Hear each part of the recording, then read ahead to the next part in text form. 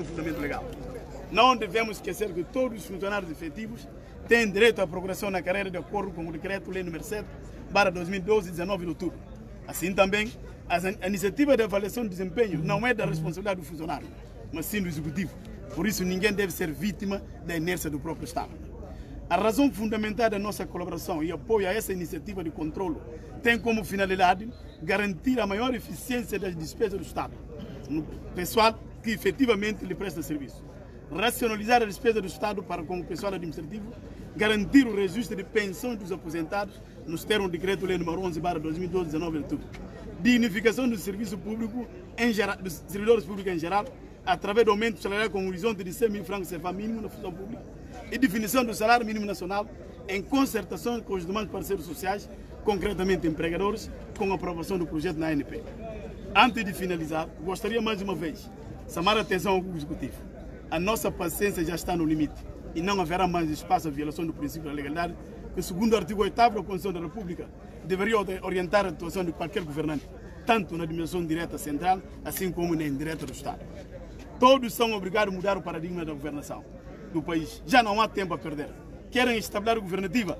Respeitem as leis que combatem a corrupção. Combatem a corrupção em diversos níveis e paguem as dívidas do Estado, não importa a diminuição interna ou externa. Vamos, doravante, proteger o bem comum dos guineenses. Combater a corrupção, o nepotismo na parede do Estado.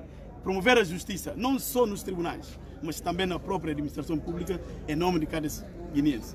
Excelências, nós, centrais sindicais, enquanto legítimo representante dos assalariados, já estamos a dar a nossa contribuição para o progresso dessa terra, cumprindo todos os deveres plasmados na Constituição e demais leis ordinárias da República de Guiné-Bissau. Por isso, gostaríamos de assistir à mudança radical no setor judiciário guineense. Temos a certeza que existem pessoas com competências e espírito patriótico de a promover. Aos deputados da nação também gostaríamos de assistir a essa mudança radical na ANP e que façam o favor de aprovar o novo Código de Trabalho cumprindo assim a missão que a Constituição lhes conferiu. Aos nossos colegas trabalhadores, a união será o sinônimo de triunfo da nossa classe. Só com ela conquistaremos mais direitos laborais e protegeremos os nossos interesses legítimos. Viva Guiné-Bissau, viva sindicalismo, unidos venceremos. Muito obrigado. Júlio Mendonça, secretário-geral da União Nacional dos Trabalhadores da Guiné, intervindo nesta cerimônia nós estamos a fazer português com crioulo. Para ver a própria cerimônia de correr nas moldes. Mas para falar como e houve um pequeno corte, para ver de não troca telefone, na campanha de discurso na íntegra de Júlio Mendonça, um parte de que não fala para o governo. Entretanto, esforça havia ministro de Finanças papia no Parlamento de um gasto de dois, mais de 2 bilhões de francos CFA para pagamento de professores e também dois e tal na saúde e falou como essa que reflete ainda pegou-se na conta desses funcionários, então é bom para ajudar a situação direito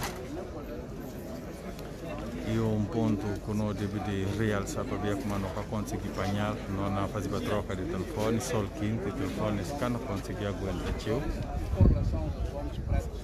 que reivindicavam os atuais aumentos salariais anualmente acordados, recordando-se ao abuso de poder como forma de resolver o problema. Infelizmente, o menosprezo, a desconsideração, a aversão e a discriminação são uma das características do ser humano, qualquer que seja sua cor, estatuto social ou escolar ou ainda lugar de nascença. Esses dias em Portugal, um homem negro guinense foi morto a tiro só por racismo.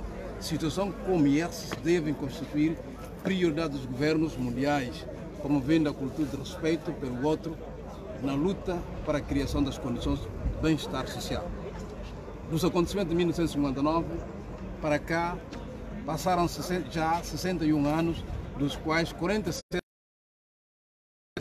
numa Guiné-Bissau enquanto um Estado independente e a cidade de Bissau.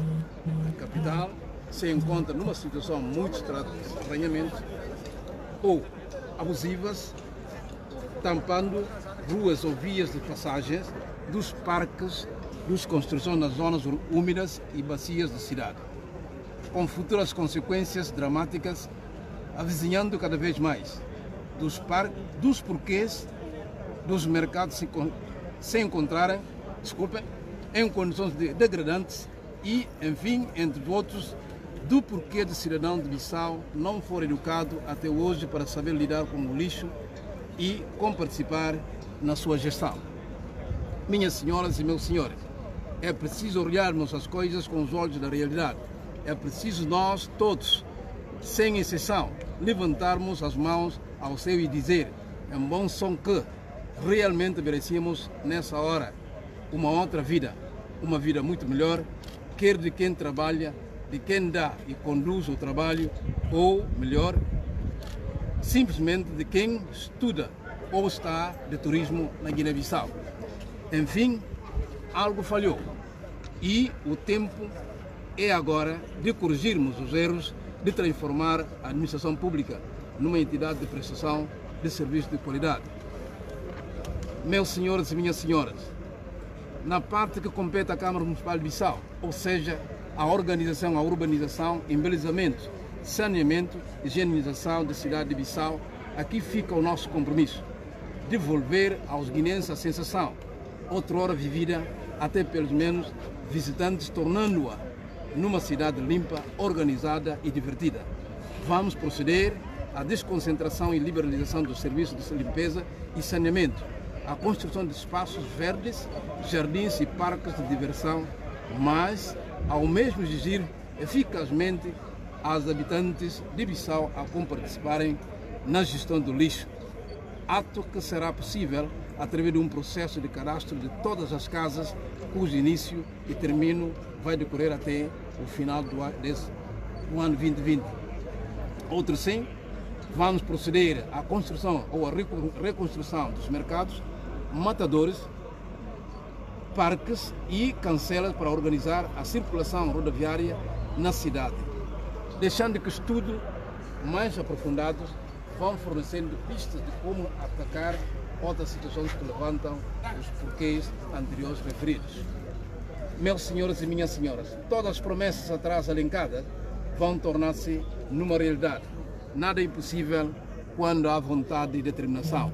A partir do conhecimento da realidade, o atual presidente da Câmara Municipal de Bissau é um funcionário de longos anos de carreira nessa entidade, que também foi um, um, um destacado sindicalista colega dos que estão aqui conosco nesta tribuna, os quais reservei para no fim desta minha locução endereçar forte e calorosas saudações fraternais, dizer-lhe que a luta sindical é sempre um bem público, pois cria sempre vantagem para todos.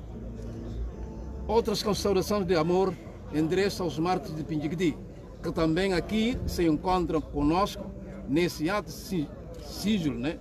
mas de grande simbolismo dizer-vos que vocês foram heróis, ainda são. Desejo-vos vida longa e saúde.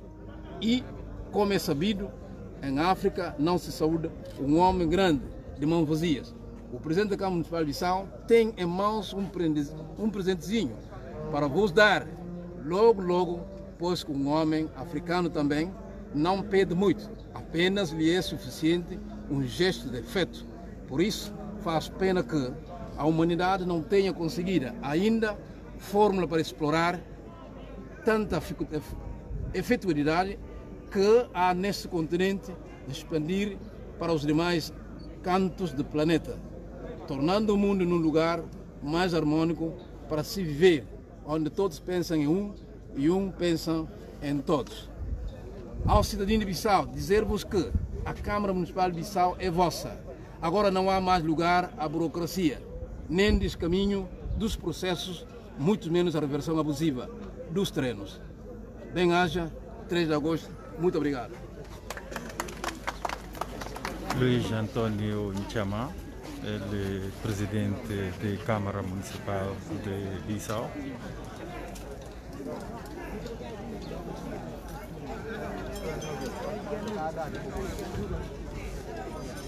Nós estamos na Praça Mártires de Pindiguiti para celebrações de 61 anos que passa sobre data. Hum, que decorreu assassinato de mais de 50 trabalhadores, precisamente em 1959, ali nessa praça ali. E aconteceu esse cenário, Pachacu, trabalhadores lançam para reclamar melhores condições de trabalho. Está centrais sindicais, está governo, cerimônia continua a decorrer ali na Monte Timba. Es com Monte Timba.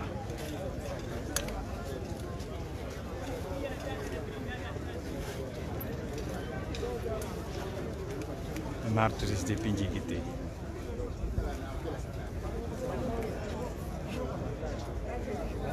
Secretário-Geral da Confederação Geral dos Sindicatos Independentes, ministros, valentes, soberanos e mártires distintos combatentes da liberdade da pátria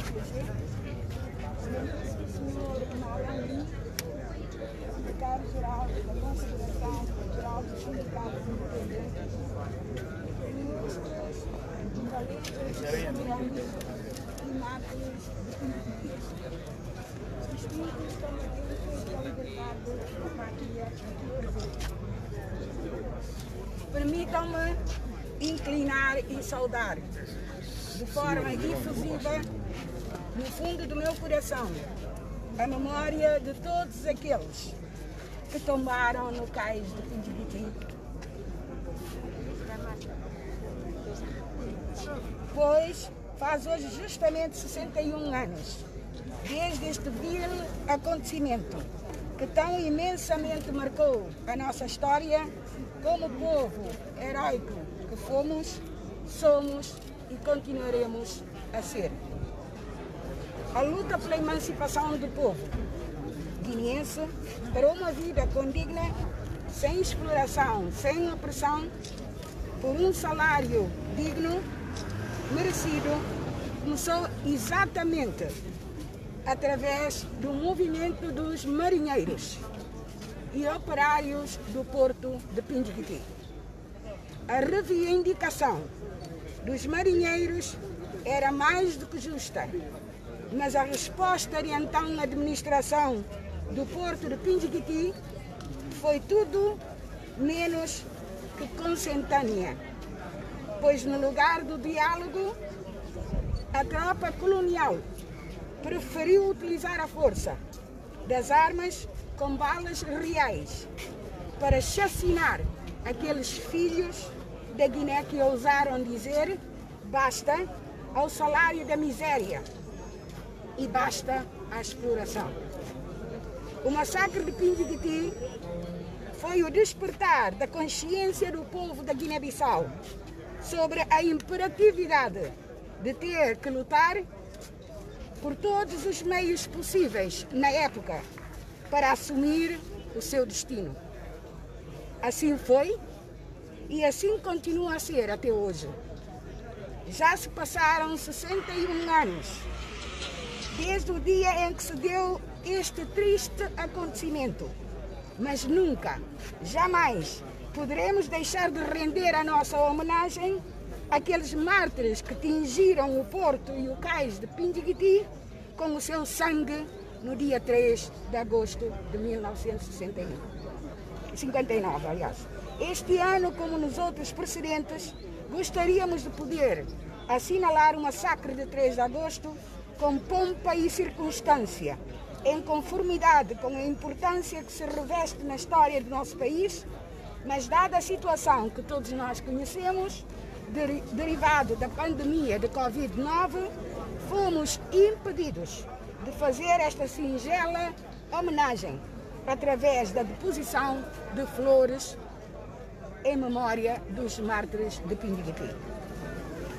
Excelência, Senhor Ministro da Presidência, é certo que o governo sabiamente presidida por Vossa Excelência tem o trabalhador guineense em particular e o povo guineense no geral no centro das suas preocupações.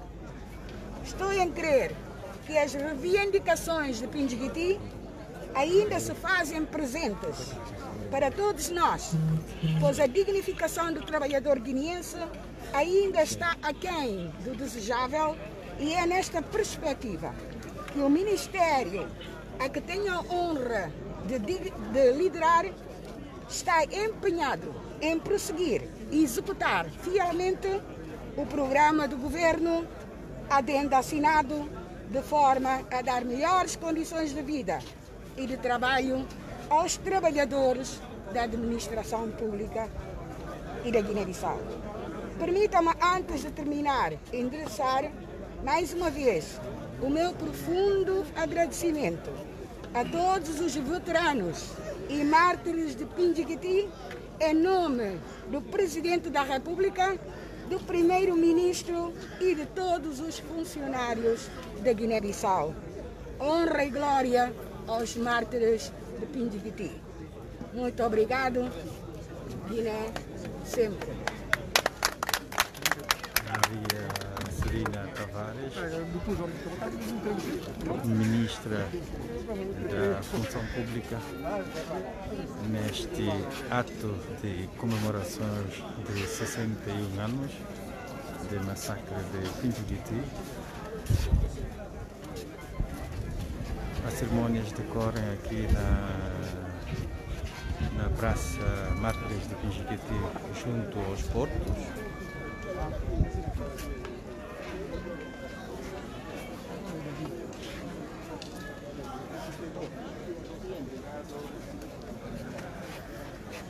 A representação do Primeiro-Ministro, o Ministro da Presidência do Conselho de Ministros, Serif Tchakite. Trabalho Segurança Social, Excelência, Sr. Presidente da Câmara Municipal de Bissau, Representante da Ordem Pública,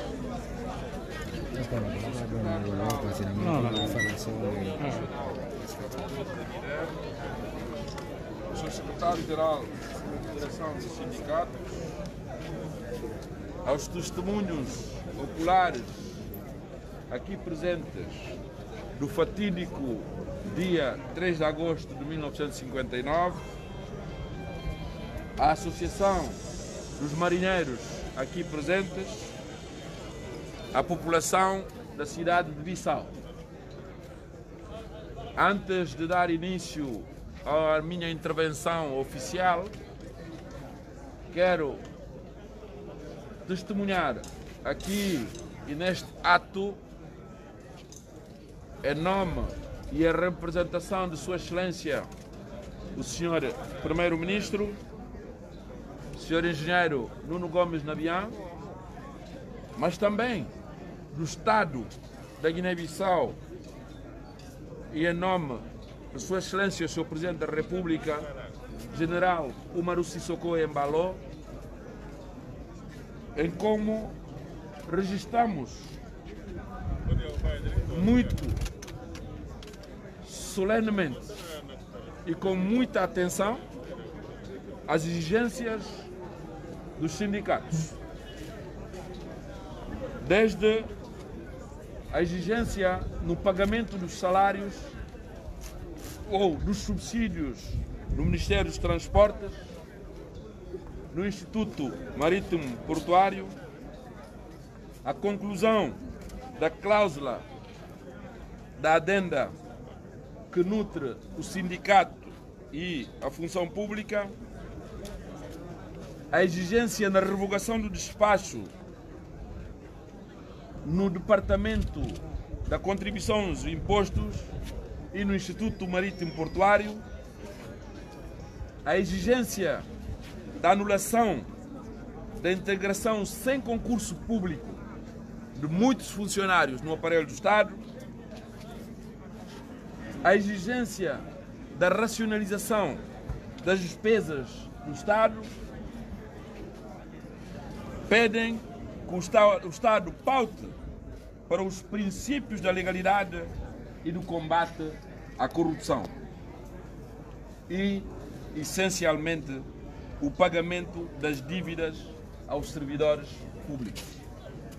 Portanto, Senhora Ministra da Função Pública, essas são, no geral, as exigências que os sindicatos, os dois sindicatos, trouxeram aqui neste ato público como as suas reivindicações.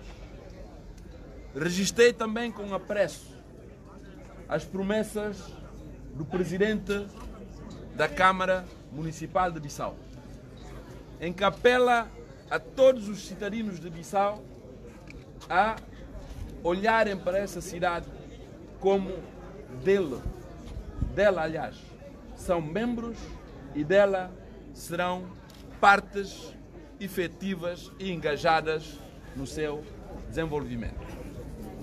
Portanto, Senhora Ministra, caros membros aqui presentes, completam hoje 61 anos desde que aquele fatídico dia em que um número considerável de marinheiros, submetidos e subjugados por um mísero salário, reivindicaram melhores condições de vida e, em resposta, com um complexo de superioridade, de desprezo, de maus tratos, receberam o ódio e foram brutalmente massacrados. Tratava-se dos trabalhadores do então Casa Gouveia, do então Casa Gouveia, do porto de Pindiquiti, os estivadores e marinheiros, que pelo direito justo vinham reclamando um aumento salarial para uma melhoria da sua dignidade como homens e como consequência verificaram-se nesta data mais de 50 mortos e centenas de feridos, todos violentamente massacrados pelo poder colonial de então. Este trágico e fatídico dia 3 de agosto de 1959 ficou marcado na história da Guiné-Bissau como o massacre de Pindiquiti. Por isso, nunca deixaremos de celebrar essa data, porque apesar de, na altura, não representasse nenhuma reivindicação de uma associação partidária, mas foi claro que esse acontecimento ficou para a nossa história como um momento que transformou e iluminou a consciência dos guineenses para a nossa luta gloriosa e heroica até a nossa independência. Acelerou o processo da consolidação e da criação do Partido Libertador, que doravante optou claramente que a via armada para a nossa libertação contra o jugo colonial era a única possível, que veio a ter seu início apenas em 1963, permitindo a independência da Guiné-Bissau em 1973, a 24 de setembro, nas matas das colinas de Boé, e em Cabo Verde, a 5 de julho de 1975. Passados todo esse tempo, ainda existem alguns sobreviventes que atualmente com idade avançada e de certeza desamparadas e abandonados. A estes, e a graças às suas valentias, devemos todos juntos prestar-lhes uma homenagem reconhecimento, pois, sem as suas valências, de certeza, hoje não estaria aqui a proferir esta intervenção na qualidade de representante do Estado e do Primeiro-Ministro, engenheiro Nuno Gomes Nabian.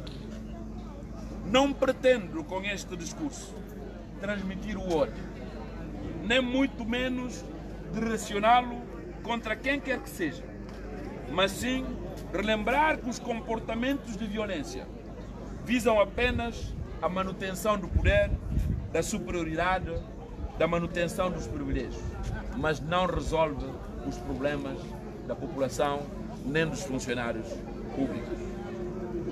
Em contrapartida, esta data de 3 de agosto deve nos direcionar a boas práticas de governação na procura incessante de desejos, da ambição de uma vida cada vez melhor a todos os guineenses, como a ouviram aqui os sindicatos a efetuarem as suas exigências, os quais deixam a promessa em como este governo tudo fará para atender, na medida das suas possibilidades, as reivindicações por Vossas Excelências aqui proferidas. Mas digo-vos desde já, não é fácil, não é fácil. Tenham paciência, porque os problemas são vastos, os hábitos são diferentes e foram 46 anos de maus hábitos. Não é num dia, não é num mês, não é num ano que um governo consiga resolver os problemas de toda a administração pública. Mas é preciso sim continuar a exigir, é preciso sim continuar a acompanhar, serem parceiros do governo na solução desses problemas. Quero, neste caso, em nome do governo, liderado por Sua Excelência Sr. Engenheiro Nuno Gomes Nabian, expressar a nossa firme e indefectível determinação em tudo fazer para que a vida dos trabalhadores ligados ao mar, das, ligados ao mar, conheça dias melhores. Não nos debruçamos aqui também e apenas sobre os trabalhadores portuários, mas sim para todos os servidores públicos, aos quais vão a nossa firme determinação da melhoria das condições de trabalho. Este governo não vê o pagamento de salários como um objetivo último, pois ele é apenas a nossa obrigação e tudo faremos para o cumprir em tempo horas. Apostamos sim na boa governação, porque a conjuntura social atual assim o exige. Os grandes desafios com os quais a Guiné-Bissau deve fazer face, nomeadamente as alterações climáticas, que se têm vindo a agravar devido a comportamentos inaceitáveis de muitos cidadãos e as suas implicações no sistema pluviométrico, a crise do sistema sanitário causado pelo Covid-19 pode provocar muito mais sofrimentos do que aquilo que já vivemos. Por isso, exijo, peço a compreensão dos sindicatos para terem em consideração toda essa problemática e ajudar o governo na solução dos problemas. Por isso, meus caros cidadãos e compatriotas, a boa governação exige de todos nós a ética, exige de todos nós o rigor, exige de todos nós a verdade, exige de todos nós a responsabilidade, exige de todos nós a coerência e o compromisso de todos juntos podermos lutar para uma Guiné melhor. Um, cada um do seu lado, a puxar na sua direção, nunca e nunca atingiremos o objetivo que nós todos preconizamos. Temos que nos unir, temos que dar as mãos e lutar pela mesma justiça, pelas mesmas causas, para uma Guiné melhor. A boa governação exige melhores práticas. Se o nosso compromisso é termos uma Guiné melhor, então devemos renunciar à corrupção, devemos renunciar à demagogia, devemos renunciar à manipulação, à mentira e ao nepotismo. A boa governação implica também ter um sistema de pertença, de preocupação com os demais e os fragilizados e desprotegidos da sociedade. Manter uma postura dialogante com os mais íntimas aspirações dos cidadãos e colocar o Estado do país acima dos momentâneos interesses partidários e pessoais. A Guiné é de todos nós devemos abraçá-lo e fazer um desafio que nos incumbe a todos, não cada um do seu lado. A boa governação requer ideias claras quanto às verdadeiras causas nacionais e globais, a lutar contra os ventos e marés por essas boas causas. Para isso, meus caros colegas sindicalistas, membros do governo aqui presentes, é necessário que a liderança dê o exemplo motivador, esclarecedor, aplicando incessantemente o sentido de dever e do Estado de Direito Democrático. Julgamos que, neste momento, estamos a tentar prestar este serviço. Minhas senhoras e meus senhores aqui presentes, esta é a missão do nosso governo: transformar a Guiné-Bissau num país próspero, num país de liberdade, onde nunca mais haverá 3 de agosto, onde todos podem e devem reclamar, exigir os seus direitos sem esquecer das suas responsabilidades. Porque não vale a pena só exigir, exigir. É preciso exigir e combater também os males que estão dentro de nós. O desafio da luta contra o Covid-19 é um exemplo disso, onde todos, mas todos mesmo juntos, devemos respeitar as normas decretadas por Sua Excelência o Sr. Presidente da República.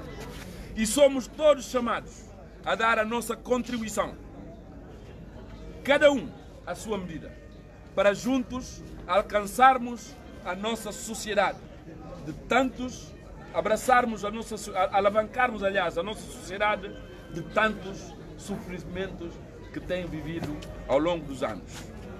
Em nome do governo que aqui represento, não deve culminar esta intervenção sem uma vez mais render homenagem aos mártires do Pindiquiti e pedir a todos a melhor forma de honrar as suas memórias é de mãos dadas, mas todos juntos mesmos, todos. Não é apenas o governo a, ser exigido. O sindicato deve assumir a sua responsabilidade. Todos assumirmos a responsabilidade de construir a Guiné-Bissau, de mãos dadas, de mãos juntas, para erguermos a chama da liberdade, a chama da independência, para que os nossos heróis, os mártires de Pindiquiti, lutaram para que hoje estejamos aqui todos juntos, aqui a erguer essa voz, a discursar para uma Guiné que todos almejamos, mas que ninguém vê o progresso. Então temos que lutar. Não é lutar a fazer greves a toda hora, mas sim exigir publicamente ao governo, onde ele não vê os seus erros, para que ele corrija. Assim vamos contribuindo. Vamos contribuir, porque os problemas são vastos e não podem ser resolvidos nem num mês, nem em um ano, mas é preciso ter a certeza que o governo está empenhado em resolver os problemas. Por isso, viva a unidade e a luta de todos os guinenses. Viva os mártires do Pindiquiti. Viva o progresso. Viva o desenvolvimento. Só juntos podemos vencer. O meu muito obrigado a todos e bem-aja a Guiné-Bissau. Que Deus nos abençoe. Obrigado. Discurso que encerra as comemorações aqui na Praça Mártires de Pinchiquiti foi Serifo Jaquite, ministro da Presidência do Conselho de Ministros, na representação do Primeiro-Ministro, Nuno Gomes Napião. Segue-se agora a deposição de coroa de flores na praça, no busto da Rica Cabral.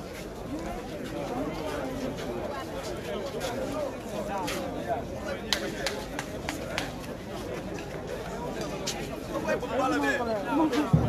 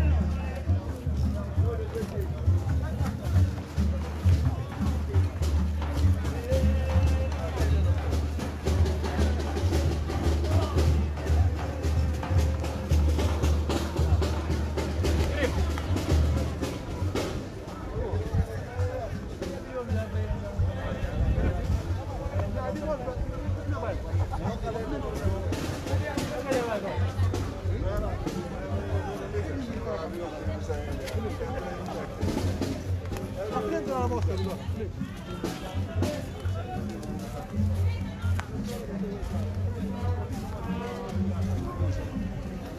you.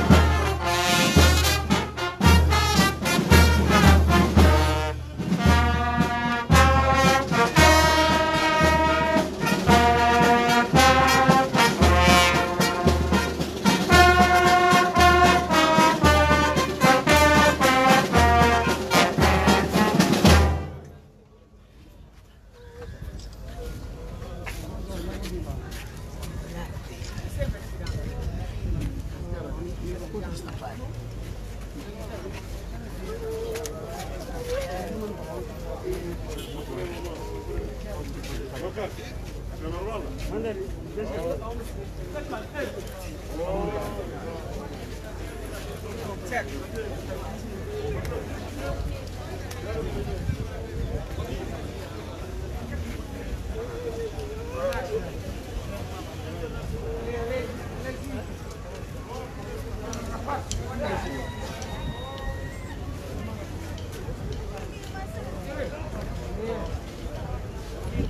Bonjour. Ça va bien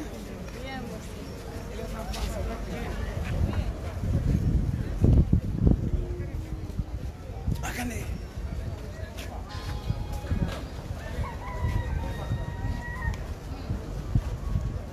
Muito obrigado. Tchau, tchau. Foi assim as comemorações. Um ato do decorrer ali na Praça Mártires de Pinjiguiti. Uma cerimônia conjunta, governo, centrais sindicais, para recordar o massacre que aconteceu em 1959, 3 de agosto de 1959.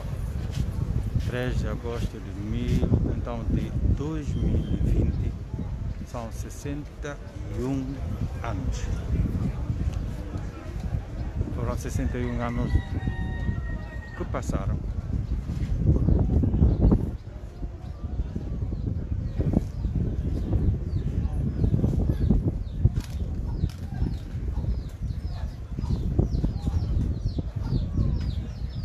A delegação agora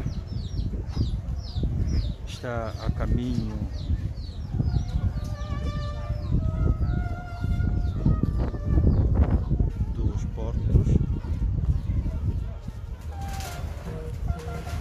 obrigados a acessar essa transmissão aqui. Muito obrigado. Não vai para o ponto final na no transmissão. Delegação na seguir para Porto, para larga aquele coroa de flores na água. Muito obrigado para os gente que acompanhando. Tchau.